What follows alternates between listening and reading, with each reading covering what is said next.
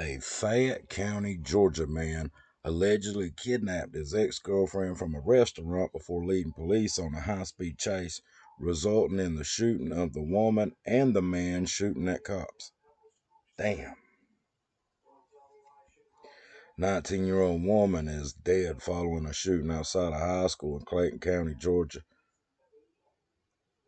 According to Crime Cam Now, Fayetteville Police Department stated that officers responded to a late night call at a Wingstop restaurant after receiving multiple 911 reports that a man had entered the restaurant to take his ex girlfriend, Fox 5 reported.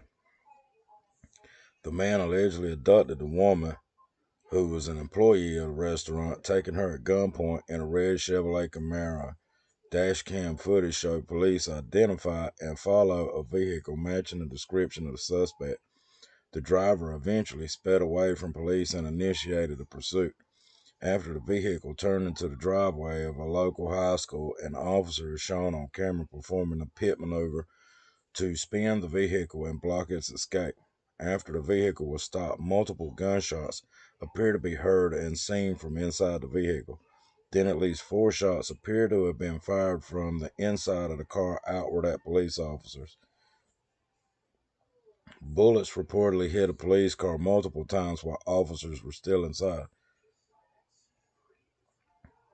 Officers began giving the suspect commands, which he allegedly ignored, resulting in different tactical measures being used by police. The Fayette County Sheriff's Department said deputies deployed an irritant into the suspect's vehicle in order to flush him out. With multiple officers pointing rifles at the car, the suspect willingly came out of the vehicle and was apprehended.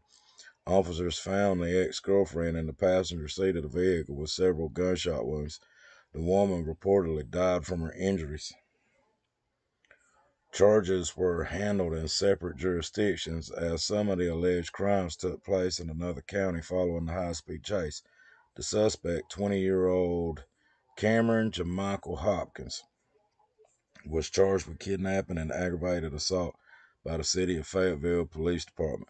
The Albany, Georgia resident is also being investigated by the Clayton County Police Department for a potential homicide, with additional charges expected.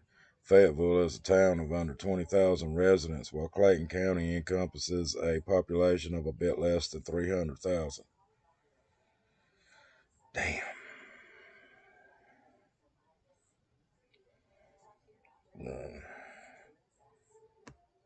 Just terrible, man.